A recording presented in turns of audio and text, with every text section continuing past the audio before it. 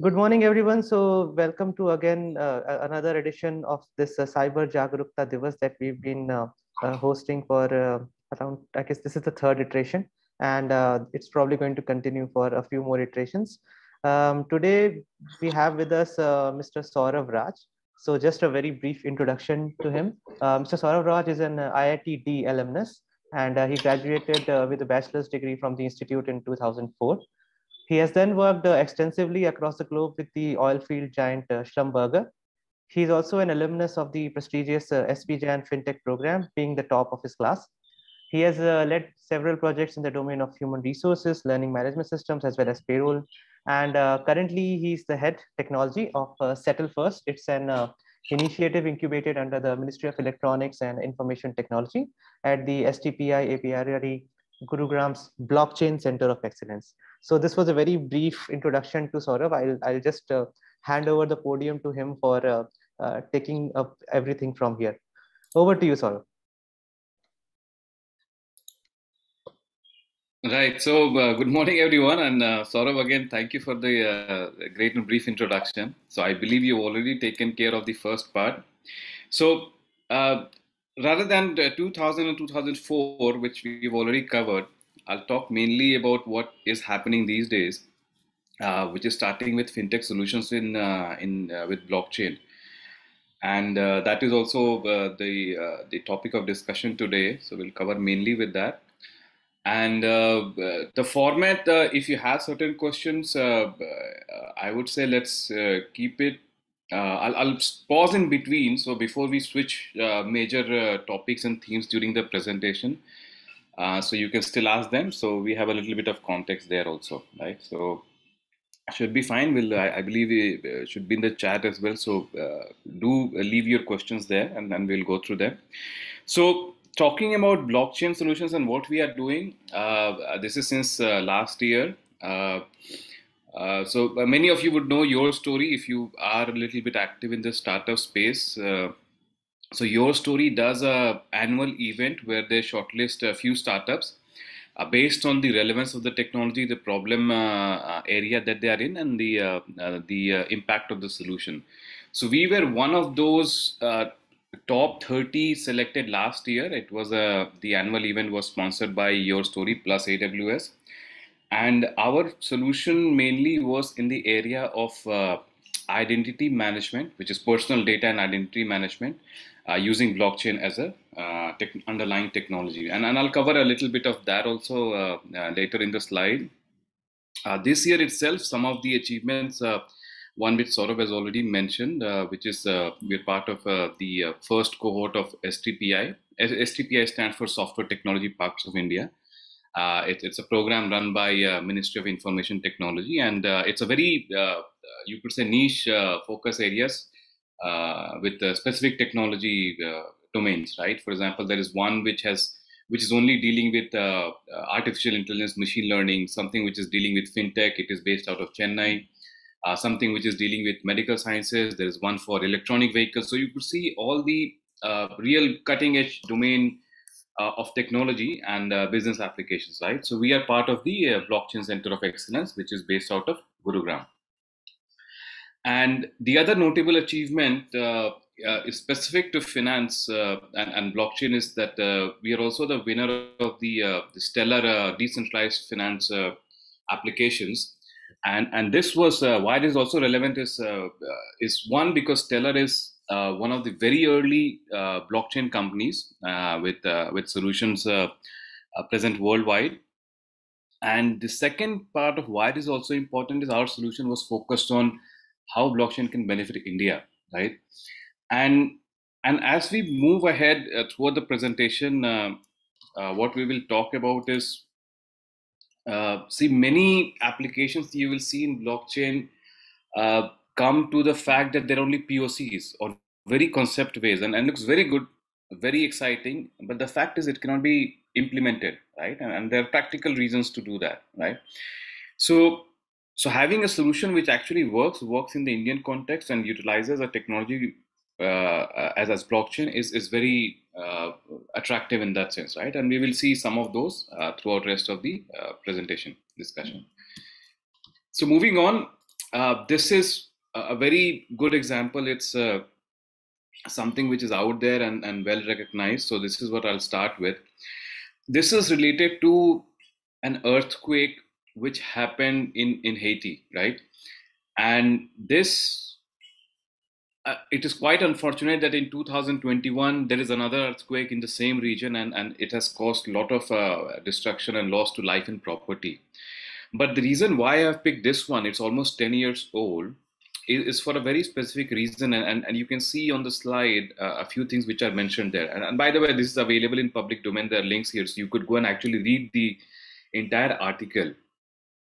So earthquakes, you would have seen floods we have seen in India, and, and, and it's it's it's a natural calamity. No one can predict it, and, and as much as we try to do, but it happens. But most of the time, even if we see it in the news and everywhere, we see that what was the destruction, loss to property, loss to life, so many lives lost. There are people in hospitals. There are uh, sometimes armies being called to uh, provide uh, uh, support and services for recovery, right?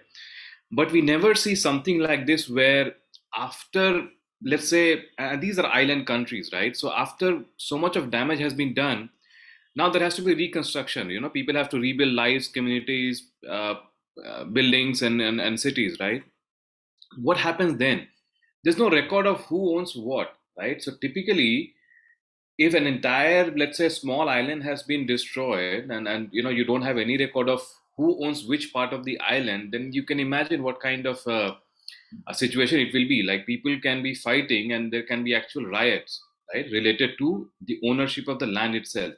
And this is typically what happened in in in, in haiti's uh, situation right?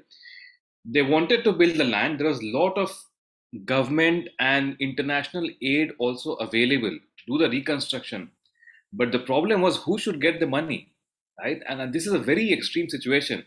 I mean you have hundreds and thousands of people who, who are trying to rebuild their homes, but no one knows where they should actually rebuild, which part of the land, which part of the area or the block of the city or, or the uh, or the village actually belongs to them.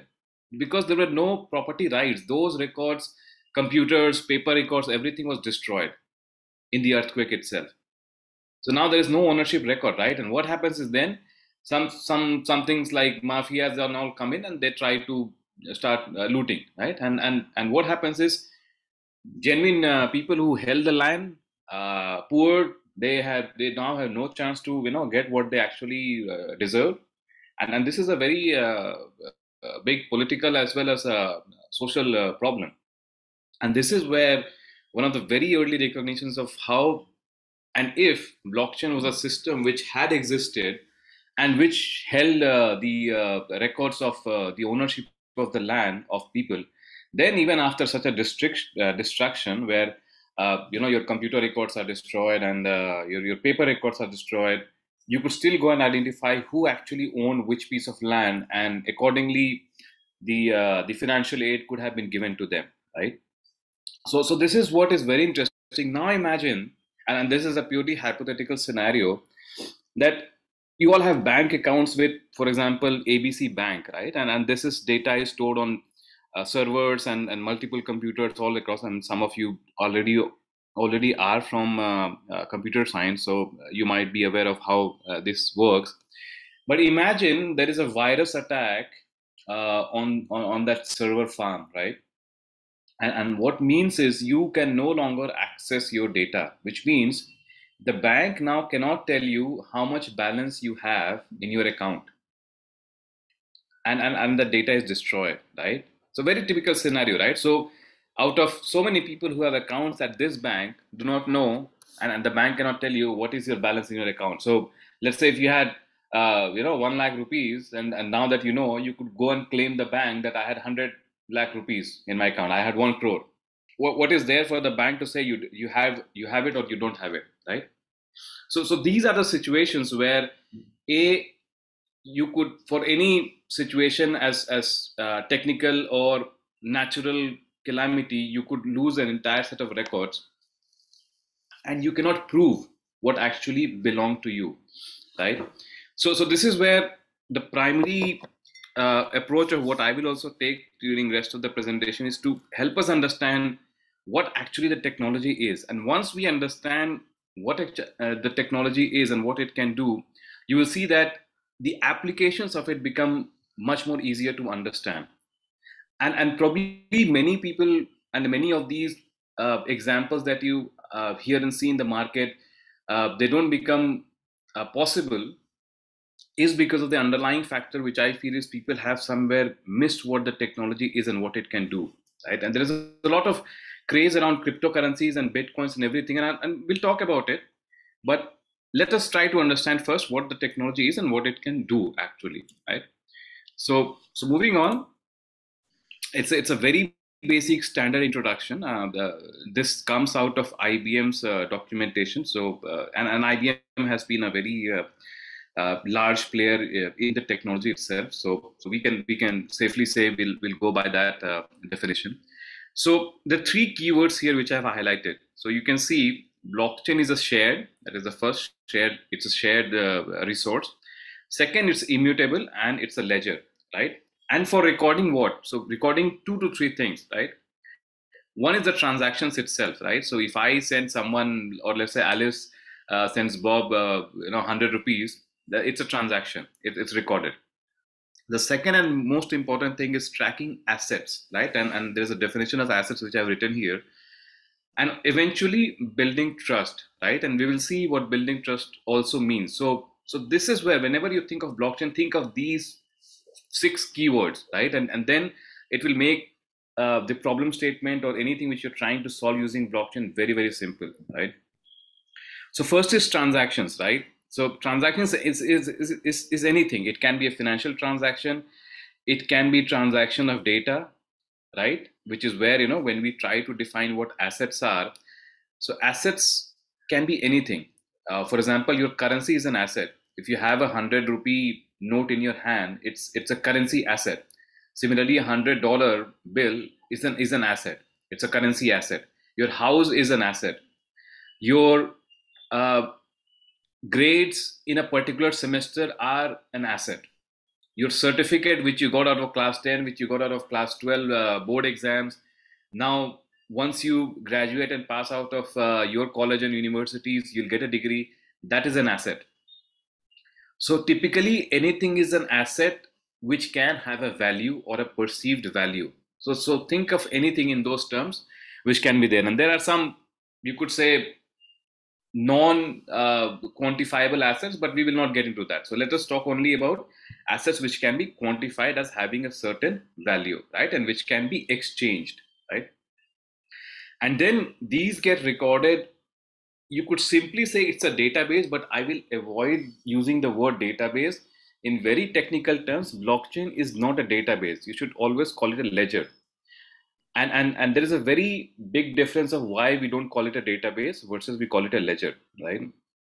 So so let me give you uh, a basic introduction of a ledger versus database. So when you go to a shop and in the olden days before all this technology and smartphones came uh, if you know uh, who someone who was running a shop you know what you would have seen is they would have a small notebook uh, which is also you know if uh, you know some traders right you know who are merchants right they would have a small book and they would keep writing. Every you know uh, trade they had every time they delivered uh, uh, you know items to someone else and every time they were owed money or they gave money. And it was always an item. And, and if something was paid and cleared off they would cancel it. A very typical scenario right? Even sometimes when we do our home finances we write all the bills that we have to pay. And as we keep paying them we try to you know strike it off or cancel it.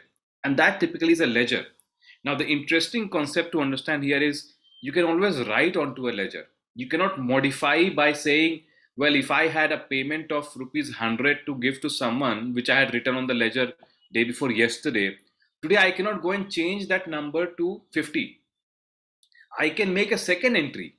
And this is where the difference is that I can make a second entry saying if I own person X 100 day before yesterday, and today for some reason I owe him only 50, then I have to make a second entry. I cannot go and modify the previous entry. And if you can just imagine, you're writing on a notebook. you cannot delete what you have written on the notebook. You can just write a second page. And that is typically what a ledger is. A ledger is an append only. You can only write to it. And of course, you can read to it, but you can only write. There is no update and there is no delete. Versus in a typical database, and, and people from computer science will find it easy, but for the sake of uh, everyone in the audience, a database is where you typically have, you know, CRUD, CRUD operations, right? Create, record, update, and delete. In a blockchain system, you only write, you only append. It's an it's that is why it's called an append only uh, setup, and that is why if you now after this uh, session, after this discussion, you should never call blockchain a database. You should always call it a ledger because of this very principal definition, right? So it's always a ledger. And now, because you see you cannot go and change it, and no one else can change it, it becomes immutable, which means once it is written, it is always there. And the second part of how it makes it immutable and, and trustworthy is because it is shared. Now, let me give you a very simple scenario. Let's say it's the same bank, this ABC bank, where, where I go and have a, an account and it says I have a, a 10,000 rupees there. Tomorrow let's say someone in the bank who doesn't like me for example goes and it's a database right they have. They go and change it from 10000 rupees to say 100 rupees. So today when i log into my account i see well my balance has gone. I have lost the money right? And this is very scary right now imagine if that database or that system of records which were there which which had the amount of my balance is now given to all of you so of 110 participants in this, uh, you know, seminar, every one of you had a record, a copy of that record, and it says, I have a balance of 10,000. So now imagine this bank agent, which was this rogue agent, let's say, he or she goes and changes my account to 100. And today I log in, I see, well, my account looks 100, but then I can go and ask 110 people who are on this uh, uh, on this webinar saying what is my balance? So all of you will look at your version of or your copy of this this blockchain record and say well sort of your balance is uh, 10000 it's not 100 and that is where you see the power of how you could trust this data right there is one person who is now we could say it's a rogue agent he's saying my balance is 100 rupees versus there are 110 people who are saying this is 10000 I think someone needs to go on mute. Uh, I'll just mute everyone and then maybe you can uh, unmute yourself. Sure, sure.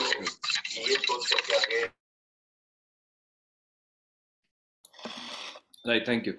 So, so this is where so the basic of of what a blockchain is is based on these few very core principles, right? So now you saw that my record or this record of the bank of let's say it's a simple record it just has a name and uh, let's say a mobile number email address and the balance of this person right it is now spread over 110 people which means anyone who tries to say otherwise will not be accepted because you know we can go and check the 110 records and say that well the balance is this amount right and this is what it was and this is where this is the core concept of what a blockchain system is. This is the root of it, and everything else kind of builds on it, right? So it's a ledger, it tracks assets, and in this case, the asset is Indian rupees, right?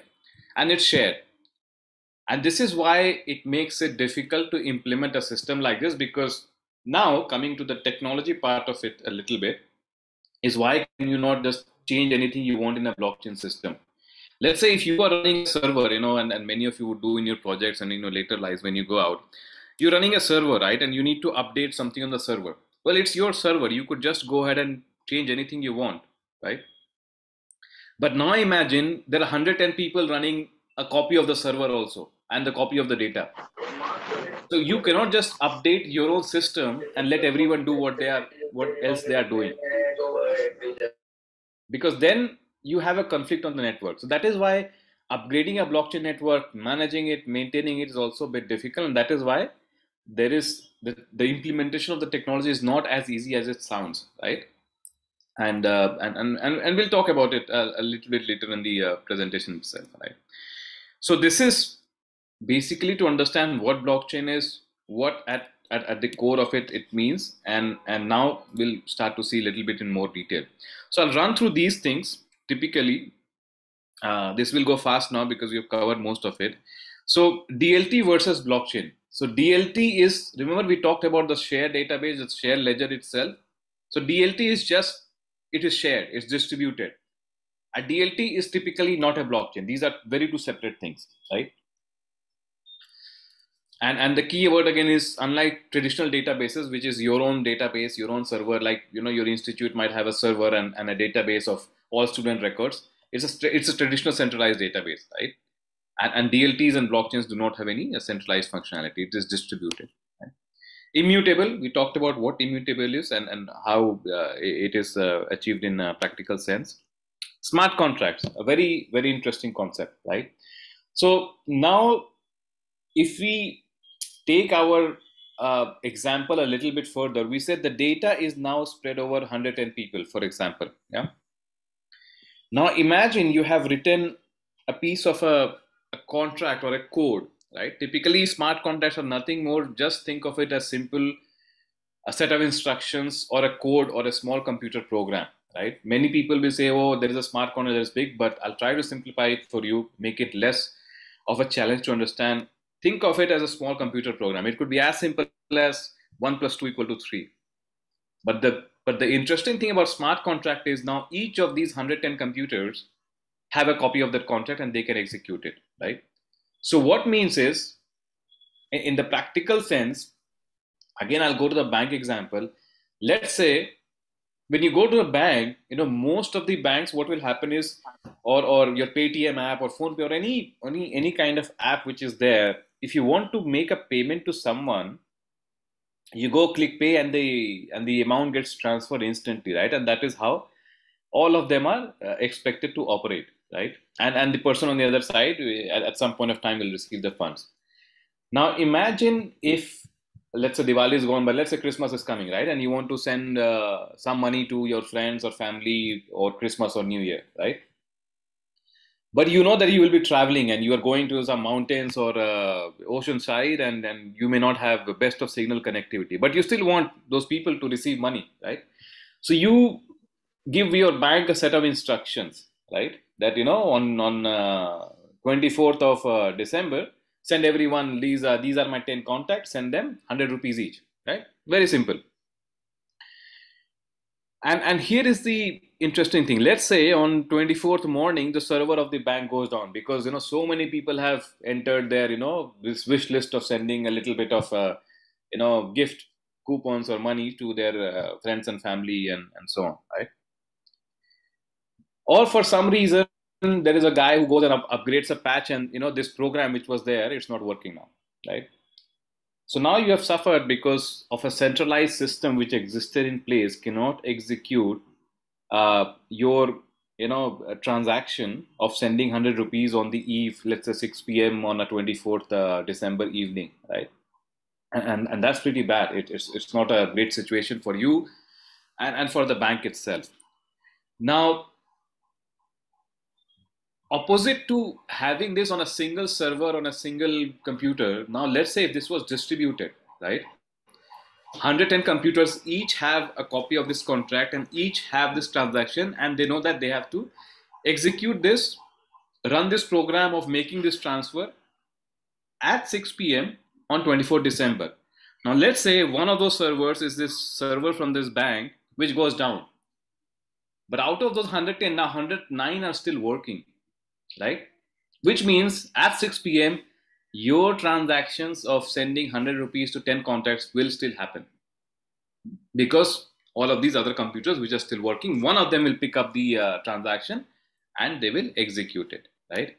So now you see this becomes the blockchain where we understand we, we all knew about it, bitcoins and cryptocurrencies, but now you see if you just look at the technology, what it can do, it is a very good and excellent application of failovers, right? Servers going down, systems going down, systems not accessible.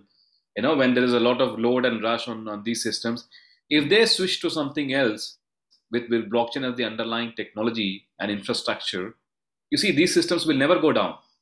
And, and where do we need this system? There are some very critical public infrastructure, for example, uh, a record of all hospitals, how airlines travel, how trains run.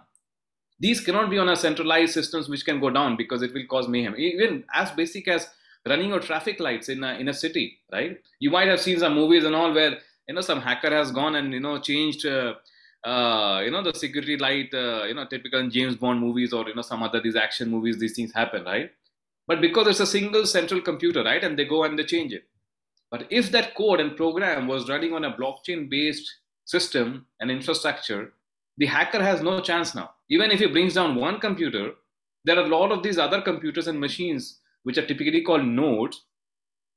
They are running right? So you cannot bring down public infrastructure as important which is vital to uh, the society itself right? So so this is where if you just think about blockchain and you understand these few basic concepts you will see how and where it can be applied right? And then the use cases come. Then you understand uh, what the problem is is what typically is what we're trying to solve and how we can solve it right so so this was about smart contracts uh, trust we have already talked about is because no one trusts anyone, but the way the technology is deployed and built, we know that if something is written on blockchain, it cannot be changed, right? So that is where uh, is trust is there, and of course the fact that you can go and verify all the records, right? And, and this is very interesting uh, to understand that now we said that it's an append-only ledger. For example, in a typical database or a program or application, uh, what happens is you know, like we said, you're if it's an account balance, it will always override the account balance and update it, right? But if it's a blockchain based system, every time your account balance gets updated, there is a new record created and you will read the last data, right? Saying if if, if Saurav's account balance was reading 10,000 yesterday and I have made, uh, let's say, 100 rupees of transaction today, today it's reading 9,900, that's a new entry. It's not an update. So you have two records of the same account balance for the same individual. So which means these are massive databases, right? But at any point of time, I can go back in history and I can identify exactly what the balance was. When you've updated it, unless you maintain a log, you will never know what data existed at which point of time. So you don't have any history. You just have what it reads today, right? So this is where there's some key technology differences of you know using traditional systems versus blockchain based systems and security like we just talked about eh, eh, the, the, the manner in which it's it's implemented and uh, deployed it, it makes it very difficult for someone to come and hack it right but then you would say you know so many hacks happen that's not because of the blockchain itself but the way it's implemented i mean imagine you have your own house you put a lock on it but then you leave the key under the carpet, right? And someone, you know, Samne, the shopkeeper, he's looking at it and he knows that, well, Mr. Sharma is leaving every day, uska keys are, uh, you know, below the uh, doormat. Well, it's a security breach, right? It's a security flaw in your own system design. Not that, you know, your lock is bad, right? So this is where most of the systems have failed in blockchain is because the because the application built on top has security flaws. And and talking on security, there is uh, another interesting thing which I'm not sure if we'll have the time today. It's called uh, 51% attacks, right? And, and, those are separate and probably, uh, you know, we could discuss it separately. I've not taken the time to add it today, but 51% attacks are very interesting. Those were happening in the early days of blockchain, where people, again, human, we ourselves, all of us, give it or not, we are we are greedy people. That's that's the simple story, right? We are greedy. If we have one unit of something, we want 10 units of something. It, it's as simple as that. We have money, we always want more. Everyone wants more money. That's it. So, so to briefly cover, we talked about you know 110 com- computers versus one computer going bad, right? Now imagine out of the 110, if 56 computers went rogue, which means now they control the entire network because they are in popularity. I mean, they are more in number, right? Similarly, you know, if the it's just you could just think of it as pure democracy, right?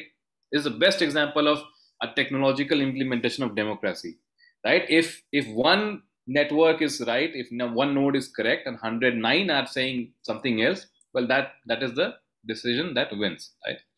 So that is where uh, it's a point about security. And and then about types of blockchain network. So you know of course there, are public networks there are private and there are some hybrid models right? So public is simple. It's available to everyone. For example the bitcoin network the ethereum stellar ripple uh, solana cardano. These are these are public networks right? Anyone can go join make a transaction create an account transfer funds to anyone in the world right? So these are public right private are you know your instances. For example if your institute implements a blockchain system for managing your uh, you know student records and everything it becomes a private. And of course they could extend the functionality to someone outside to come and verify it right? So that could be one. And of course consortiums are kind of somewhere in the middle where it can be both private public combined uh, different model of structure and how things are implemented right? Right so last topic before we switch gears is uh, is a little bit on cryptography. I think there's a little bit spelling mistake here. So cryptography, it's about security. It's very important, uh, and of course we are talking about cyber security also. This is the entire theme. So I've kept it here because I've talked to many students also, and sometimes uh, you know try to understand. I mean, technology, language, Java, JavaScript, all that stuff we talk about. But I always ask them a question of what they understand about security, right? And and uh, typically in the context of uh, digital security online security uh, data protection and those kind of things right? So so here is the thing. There, there are two things interesting about security right? And and if you allow me sort of can i uh, let's say ask a question? Uh, people can respond sure sure, sure. Yeah? it's all up to you. You are the you are the boss. Oh i wish it was easy but but okay here, here here is the case right? So in your chat i want uh, everyone how do i access the chat here? Okay is this one. Um okay so so if if you all could take a minute and write what is the difference between encryption and hashing? So anyone who has an idea what is encryption and someone who could write what is hashing? Just just write in the chat you know? Just take a minute and and and add your comments Uh, we already have a lot of uh, uh, queries going on in the chat. I'm just trying my best to ah, okay. resolve them. But yeah, we'll don't worry, guys. We'll we'll you know I'll I'll expect that Saurav might might come back with us someday and uh, you know probably give us another talk uh, right okay we, we, are just trying yeah. to cover the basics today right right right and i see some very interesting comments actually we should do a more of these but but let's see so okay so great i, I see people are replying so how do I, I cannot make this bigger. Ah, okay. So here is uh, something who's, uh, okay, so Adya says encryption produces different size of encrypted data in the end. Suraj says encrypted data can be converted back to original, hashing can't be converted. Very good, Suraj.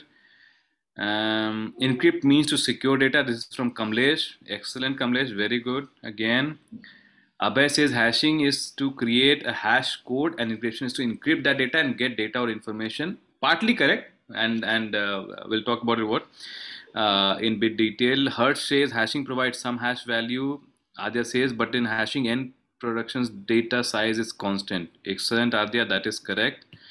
Uh, Hertz says encryption turns into coded language, but it in predictable manner. Hertz, that is also very correct. Okay, so good. So very good responses and and and uh, based on this uh, both convert data to different forms correct udayan that is also correct. So okay so i'll go back. Most of you have uh, understood and and you you you're almost correct right?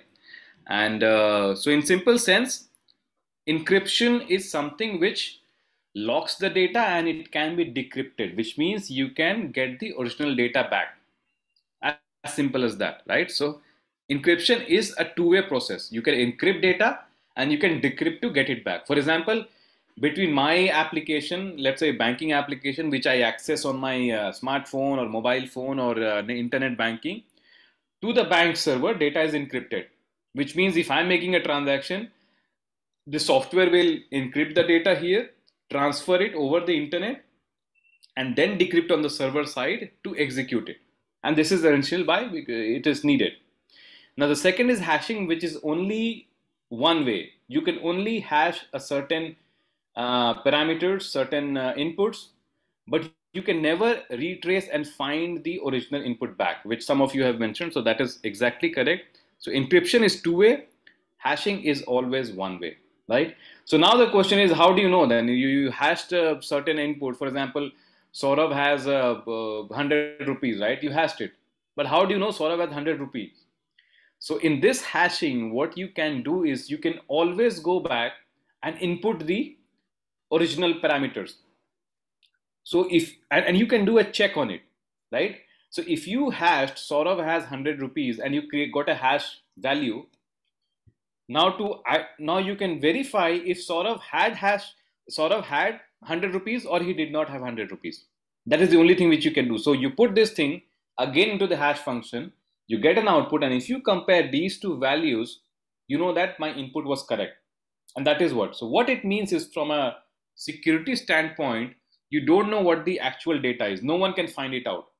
Only if you trust someone, they will put the same parameters and they will compare and then they will know that this was the correct input, right? So for example, if I hash 1 plus 2, or, let's say if I hash a string of numbers, right? So 1, 2, and 3, and I send it, it produces a hash. But how do I know the hash is correct? Again, I have to tell you, I pushed 1, 2, and 3, and you will pass it the same hash function, and then you will get the same hash. So you know the input was 1, 2, and 3. But if you don't know the input of input was 1, 2, and 3, you will never know what the original data was, right? So which means you have been able to protect your data. Now, for example, where could you use this, right? It's a very good concept, but what is the practical use of it, right? So for example, now, let's say, you know, talking again in financial systems, these are protected, password protection, so many of these things, right? So you do know that your passwords are never kept in the same form. Even it cannot be encrypted because then someone who has control of the server can go and decrypt it because they have the encryption keys and the encryption parameters, right? So that is why passwords are always hashed. So which means as soon as you enter your password in your internet banking or any system application or mobile phone, the, the browser itself, the first interface itself, before it hits the server, will put that password through the same hashing function and it creates an output and then it will send that hash to the backend server to check if this is the same password. And if those two hashes will match, then you know that you have put the correct password and then it will allow you entry into the system.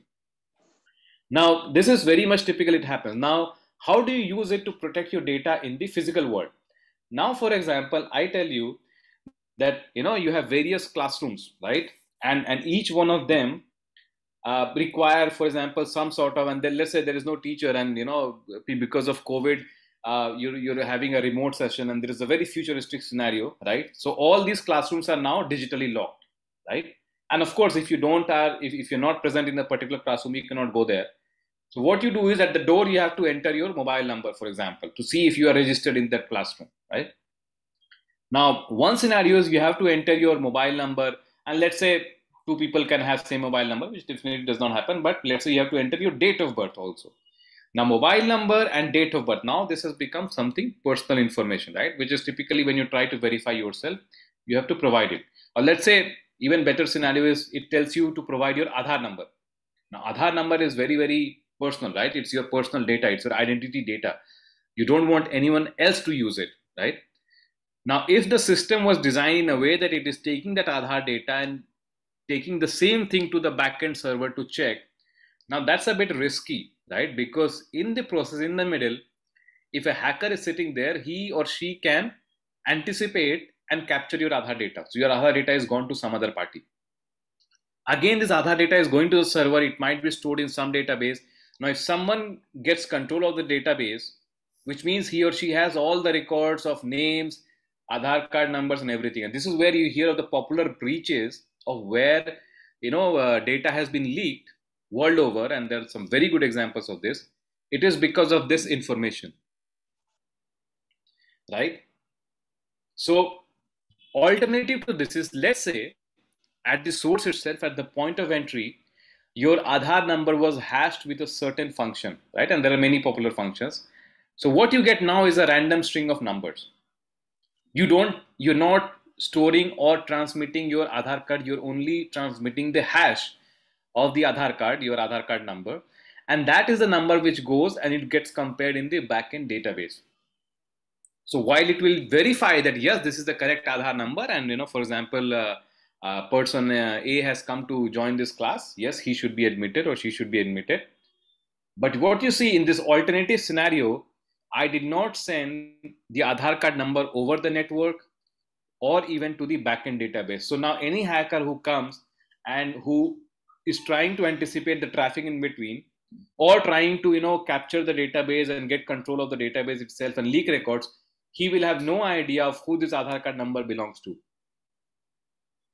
So while cybersecurity is very important for, for us from a consumer standpoint, most of us are in the technical domain or, or even in the non-technical domain, but some of you will go ahead and we'll start building these systems, we'll become uh, you know great and good developers and you know do great things. But this is where you have to think of how you end up protecting your customers' data. And if you can do that well, your company, your itself, your brand's reputation will be very, very high. Today, it is less about what else you can do with your application, but it is more about how important and how better you are protecting your customers' data. While it may not give you money or you know business businesses will not earn by saying that i'm hashing your you know data and i'm keeping it secure.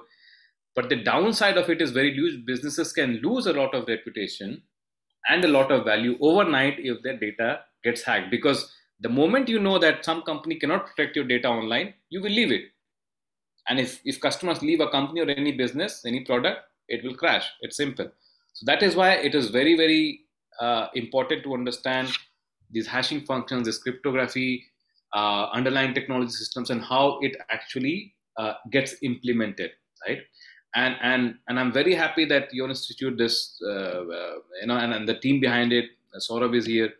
Uh, they're doing this session because as we go from here as we go beyond now in the future things are going to get more digital more easy to access which also means it is going to be presenting us with far greater risks than we had before in previous times when you would go you would you would show your Aadhaar card or uh, voter card or driver license physically. You know, there used to be a security guard sitting there. He would look at it. Most of the time, that guy knows you because you are generally coming to the same building, to the same. So there was a trust there, right? Now, because of COVID and everything, things have changed. Now you cannot have that physical contact. You have to enter your passwords digitally, touchpads, you know, whatever voice control systems, which means everything has become digital. So if you're not able to protect it, A, at your side, B, as a developer, as a system designer, as a as an architect of these technological systems, if you cannot do it, you will be in a much greater risk. Not today, but tomorrow, right? And there are so many breaches. If you just go, India may be breaches hota hai. It is here also. It is outside also, world over, and it's a big, big risk to anyone, right? So I'm hopeful there are many more sessions like this where you will learn more about the technology aspect of it, uh, respect with respect to security itself. Uh, I think we're running out of time, so I'll cover some of the uh, financial use cases which I had actually wanted to cover. Right, so give me about quick few seconds. Uh, so, so here now talking about blockchain in financial services. Now this is a great slide. This is actually taken from McKinsey. This was published several years back in the very early days of blockchain and actually there is a link here i once i share the presentations you can look at it so so what it shows is this graph is interesting is you see on the on the bottom axis it says feasibility is is you know how uh, easily we can implement it versus on the vertical side you see the impact from low impact to a high impact right and and i put the numbers and uh, the the the respective use cases on the side right so on the top, you see at number one is trade and supply chain finance, right? Now, why it is important is, is we'll cover in the in the following slide some of these cases. Uh, next, you have transactions monitoring. Uh, third and fourth, uh, cross-border payments. P2P is peer-to-peer, person to person, and uh, B2B is business to businesses. So businesses making uh, you know settlement of invoices, payments, and you know uh, things like that. Peer-to-peer is typically what you do with your you know one person to another person. Very popular and this is where most of the cryptocurrency has been right making a payment from one person to the other and the fact that it makes it very easy verifiable instant settlements and so on right when i mean today technology has improved but just about even two years back you know you send a you know payment or you know you're you're, you're from your home you know you're getting your fees paid. It would be like you go to the bank you you put the transaction in you submit it and 24 hours or 48 hours later you still have to call the bank or someone has to call or, or you know you'll discuss over the phone or you go to your teller and ask you you know you, you did you get the money or not right? So today we have come far far ahead from those systems they are the instant confirmations instant settlements right which are happening and that is the benefit of using blockchain as a technology right?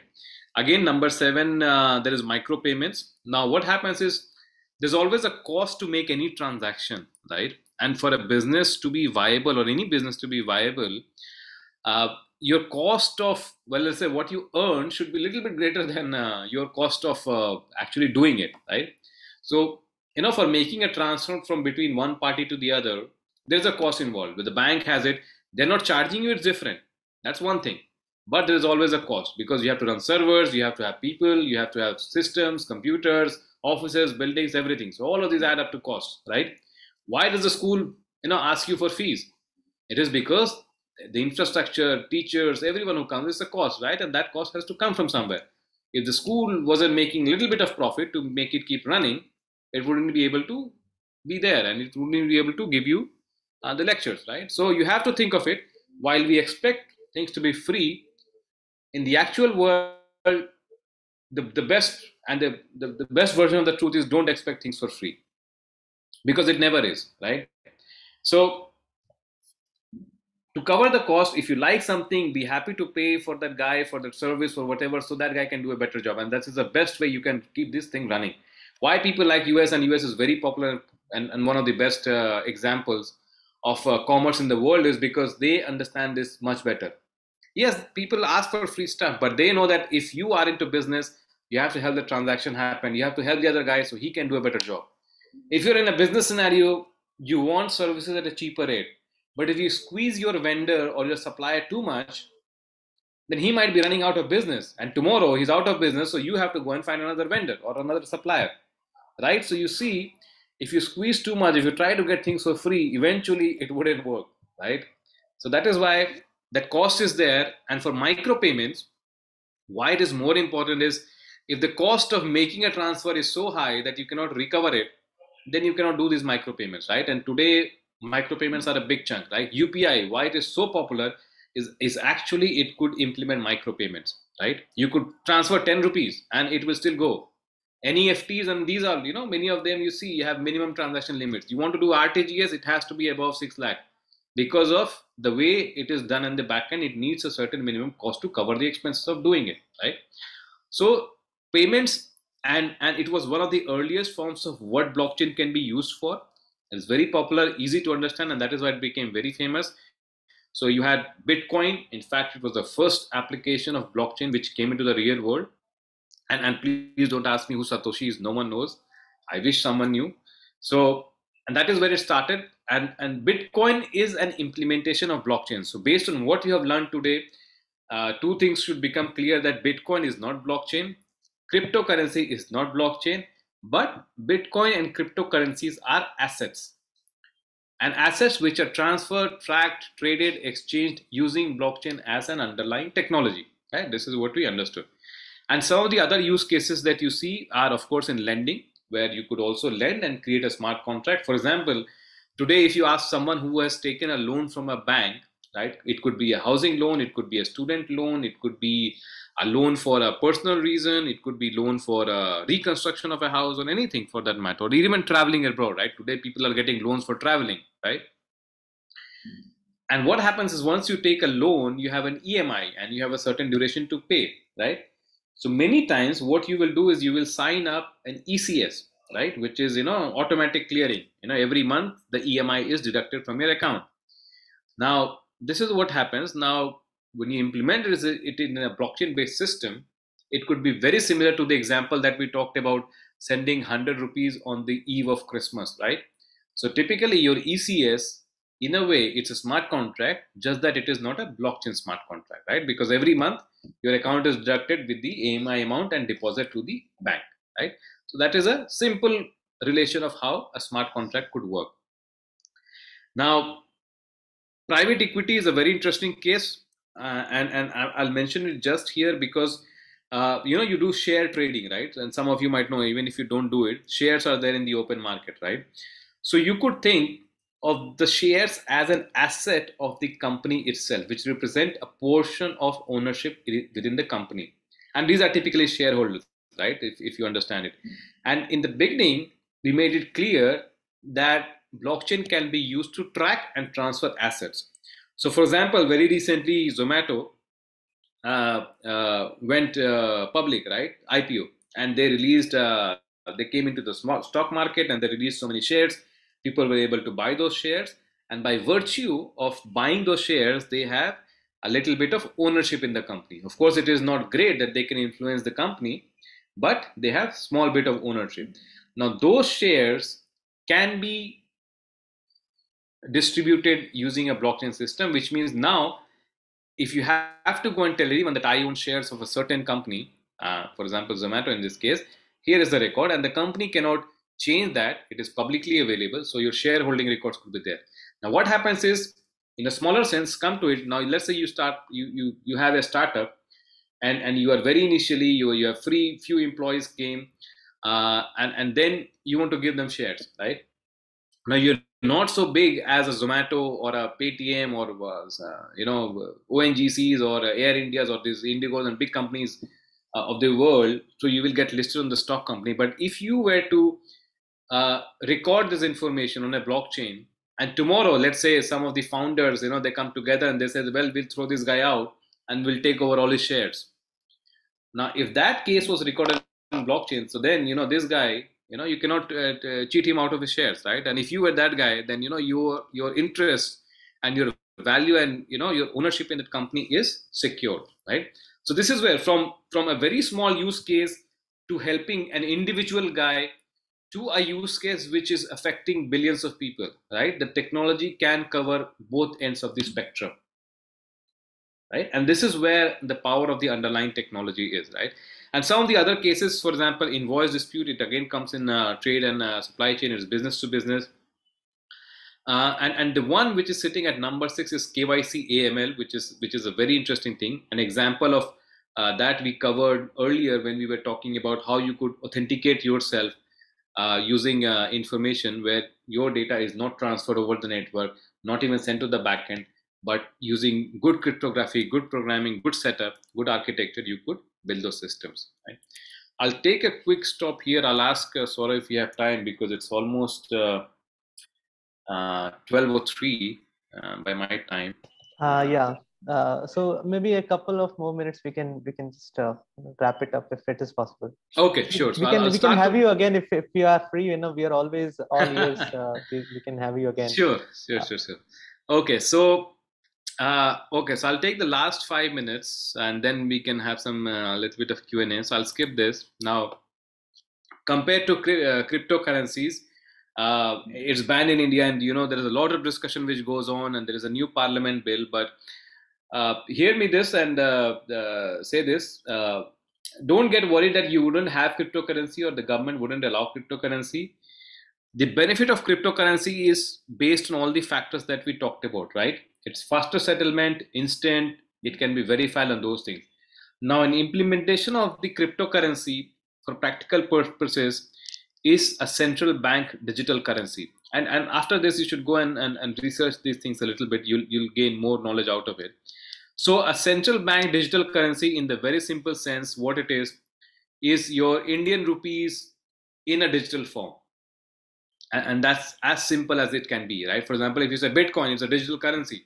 No one has a Bitcoin coin actually in hand, right? Or Bitcoin as a note, right? There's not a hundred Bitcoin note, but you have a hundred rupees note.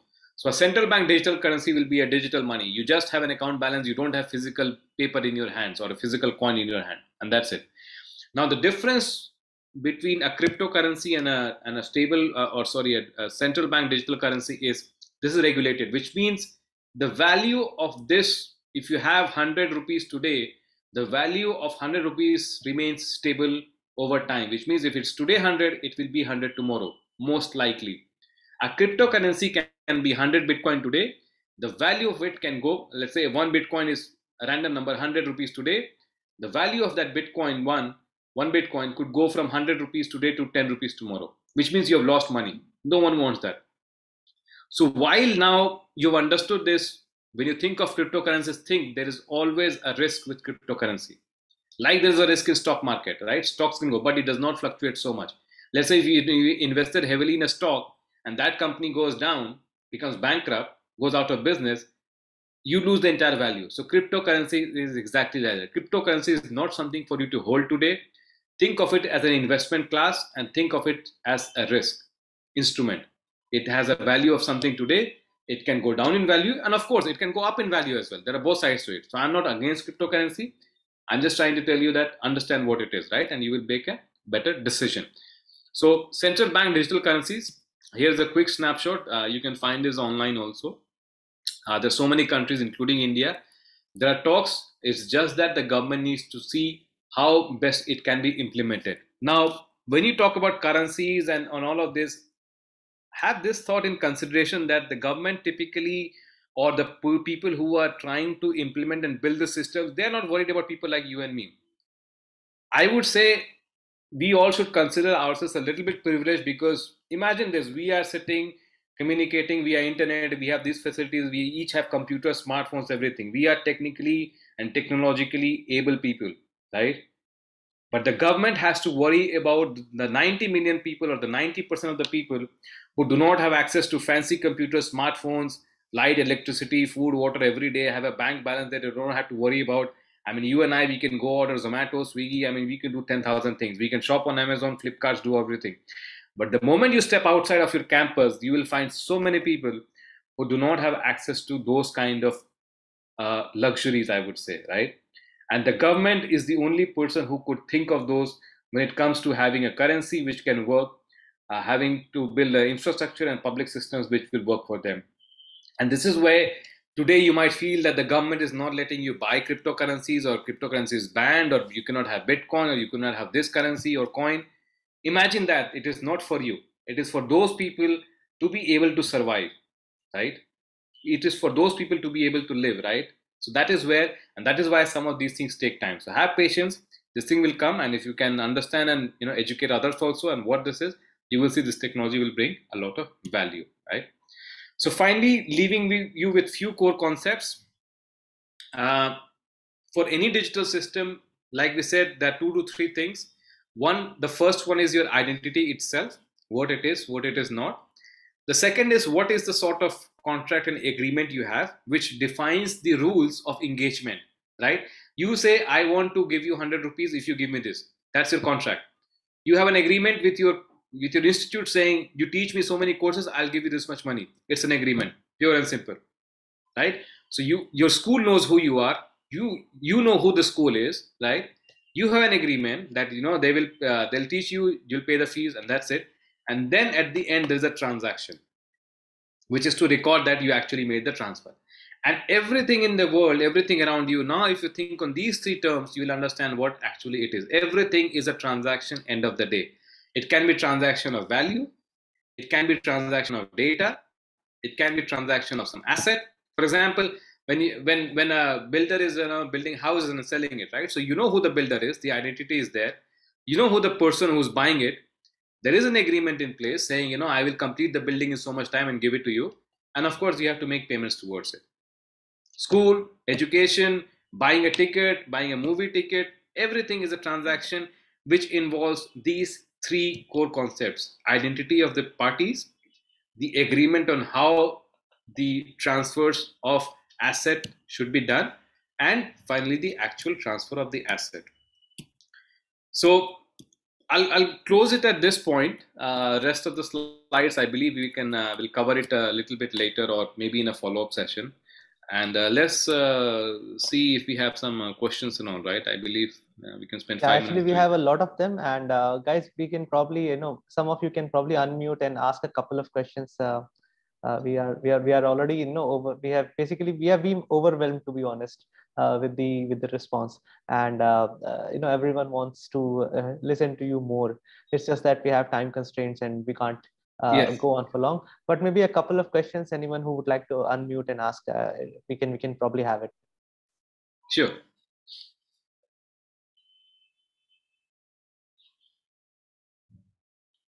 So I guess uh, most of them are are, prefer are preferring to chat. Yeah, there is someone here. Go ahead. Yes, sir. I I, I want to talk about uh, like NFTs tokens. NFT tokens. Yeah, NFT, tokens. Very yeah. interesting concept. so, her. So let me tell you what, in simple sense, to understand NFT is. Uh, let's say, in case of you, uh, NFT is non-fungible token uh, versus if it's non-fungible, which means there is something which is fungible. Fungible means you can divide it. For example, your 100 rupee note, you can actually divide it to one rupee notes, right? So you can have one as the minimum, right? But you know, you can go to Paisa as well. So what happens is your currency is fungible. You can divide it into smaller assets. The second is the way you look at currency, it can be unique. 100 rupees is 100 rupees, right? It can be with anyone and you can say, well, it still is 100 rupees. But if you say, I have 100 rupees with this particular number, right, then it becomes a unique asset. That 100 rupee note becomes unique. So it becomes non fungible, right? So when you come to non NFT tokens, uh, token is just a word which is like, you know, it's tokenized, right? Uh, which means it's a unique small unit. But non fungible means it cannot be broken down further, right? And it's unique. So these are the two properties which define it. So, for example, a piece of art, right? Uh, I have the basic grasp of uh, NFT I just right. wanted to know like how to link it with like some of my digital art or something. You know, it could right. Right. So what you do in that sense is uh, you create a digital twin of it. You record it uh, in a in a blockchain based system. There are NFT marketplaces today, and then when someone buys it, you transfer the ownership of that digital asset, which is the NFT token, to the individual. Right. And that's again, like we said, it's an asset so if you go back to the basic principles, now your NFT is an asset. You created it, and based on certain transaction, if someone buys your asset, you have transferred it to someone else, right? And it's a digital representation of anything which exists in the physical world. So, for example, your art could be NFTs, your degree certificates could be NFT, right? Which means it's now presented digitally and it's recorded on blockchain. So, if you are going for higher studies, let's say you go to Harvard or Stanford, you know, for your PhDs and all, you could say that well my institute gave me my degree certificate. It is on nft here. You can go and verify it right?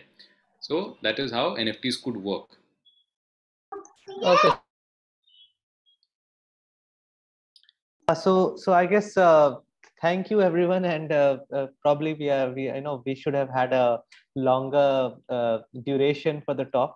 Uh, unfortunately we have run out of time today. Um, i will try my best to uh, you know persuade Saurav to uh, be with us one more time at least and you know talk to everyone. You guys seem to be enjoying the talk and this is all um, an initiative to basically as i said it's Cyber Jagrookta Diwas. So the idea is to make more people aware of uh, technology as well as things related to cyber security so thank you you know please join me to thank uh, for this wonderful session.